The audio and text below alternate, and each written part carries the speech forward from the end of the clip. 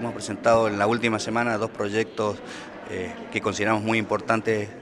para los sanrafaelinos. Uno tiene que ver con que la Dirección de Vías de Medio de Transporte de la provincia implemente un plan mínimamente a cinco años y que nos diga a los sanrafaelinos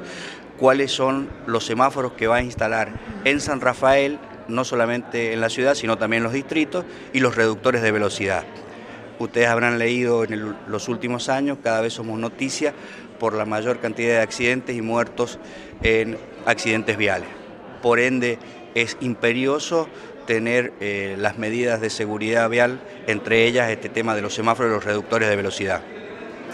Por el otro lado, también hemos presentado un proyecto que tiene que ver con la profesionalización y la jerarquización del empleado municipal,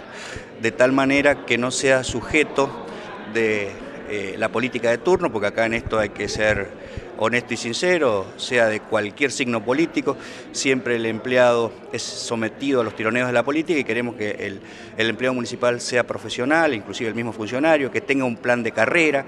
que los, eh, el ingreso, el ascenso,